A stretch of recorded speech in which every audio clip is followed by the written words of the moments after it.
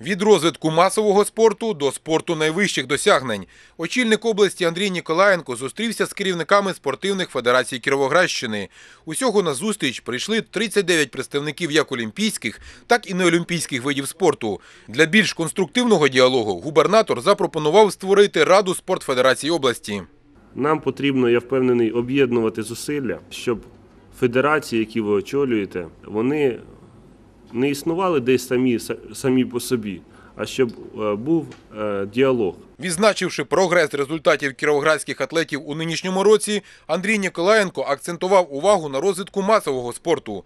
Погоджується з керівником області і президенти федерацій. Масовий спорт нам потрібен, тому що це е, і здоров'я нашої нації, це діти, це врешті-решт певний ресурс для спорту високих досягнень. Саме там е, ми е, черпаємо наших спортсменів. Під час спілкування представники Федерації єдиноборств області підняли питання розділення видів спорту на олімпійські та неолімпійські. Тут головним критерієм повинна бути саме масовість та наповненість залів дітьми, вважає президент обласної федерації шин Кіокошинка і карате Олександр Кузьмін. 70% детей, которые занимаются в городе Кировограде, занимаются единоборствами. И отсюда и становится вопрос да, о финансировании.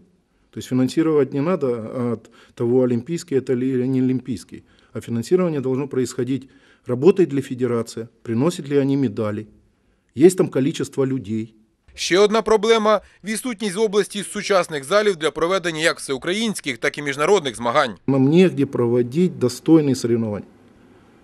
Вот наша федерация провела 5 международных турниров в Кировограде, где участвовало от 5 до 9 стран. Но вы сами понимаете, э, когда ты проводишь международный турнир в Зирочке, которая построена в 1892 году, то как бы и не хочется дальше эти проводить соревнования. Цю проблему повинно вирішити будівництво у Кіровограді спортивного мультиплексу. Його планують відкрити до 2015 року. У меня уже есть проект такого центра. И э, на 2985 мест посадочных, э, многопрофильный, который, э, которых типовые достаточно э, центры, которые построено больше десятка в Чехии, в Словакии на протяжении последних 10 лет. Також до фінансування видів спорту та розвитку інфраструктури потрібно залучати місцевий бізнес, зазначив губернатор. Приклад – реконструкція стадіону «Зірка». Підписали меморандум відповідний. Що робить федерація? Яку допомогу надає федерація? Що робить обласна влада?